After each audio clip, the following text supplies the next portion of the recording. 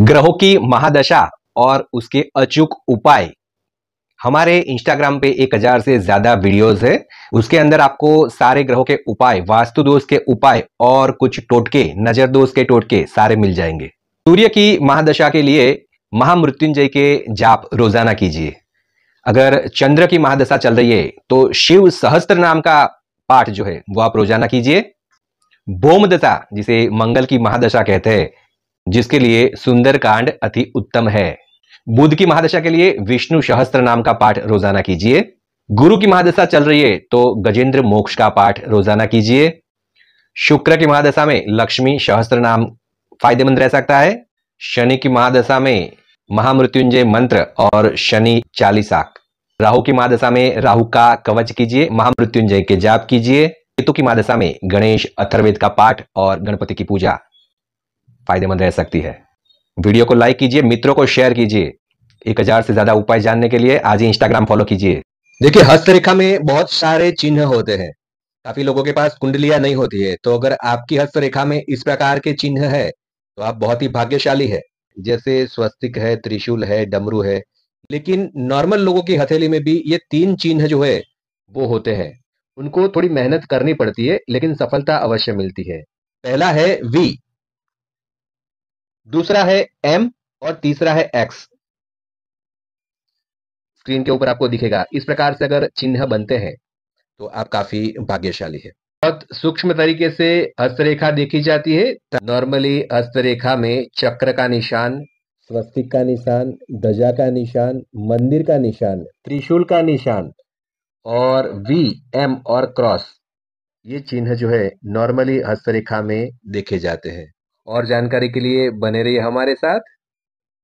Video को like कीजिए, मित्रों को शेयर कीजिए। तीन अक्टूबर से शनि महाराज गोचर करेंगे राहु के नक्षत्र में। शतपिशा नक्षत्र में शनि महाराज 85 डेज़ तक रहेंगे। पाँच राशि वालों के लिए यहाँ पे दिक्कत का समय हो सकता है।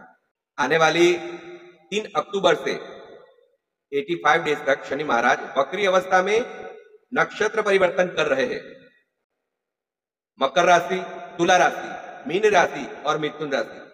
ये चार राशि वालों के लिए दिक्कत का समय हो सकता है, ऑपरेशन वगैरह आ सकता है, कोर्ट कचहरी के चक्कर लग सकते हैं हेल्थ इश्यूज़ आ सकते हैं डिवोर्स वगैरह हो सकता है और एक्सीडेंट वगैरह भी हो सकता है। उपाय के तौर पे आप नीति से चलिए, किसी का भी बुरा मत कीजिए क्योंकि शनि महाराज न्याय के देवता है। जितना साफ़ रहोगे, उतना अच्छा समय रहेगा। हो सके उतना धर्म का पालन कीजिए। जन्म तारीख से जाने कि आपको क्या नहीं करना चाहिए। अगर आपकी जन्म तारीख एक दस, उन्नीस और अट्ठाईस है तो आपको अधिक रात को देर तक जागना नहीं चाहिए। दो, ग्यारह, बीस और उनतीस तारीख को पैदा जो बच्चे हुए हैं, उनको अधिक सोचना नहीं चाहिए। तीन, बारह, बीस और तीस। इन तारीख को जो पैदा हुए हैं, उन लोगों को आध्यात्मिकता से दूर नहीं भागना चाहिए।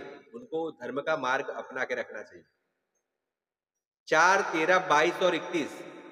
इन लोगों को उतार चढ़ाव लाइफ में उनके बहुत आते हैं। इनसे दूर नहीं भागना चाहिए। पाँच, चौदह और तेईस। इन तारीख को जो पैदा हुए हैं, उन्हें अपने लक्ष्य से भटकना नहीं चाहिए। छह, पंद्रह और चौबीस। इस तारीख को जो पैदा हुए हैं उनको पैसा ज़्यादा खर्च नहीं करना चाहिए। सात, सोलह और पच्चीस, इन तारीख को जो पैदा हुए हैं, उनको ज़्यादा ट्रेस नहीं लेना चाहिए।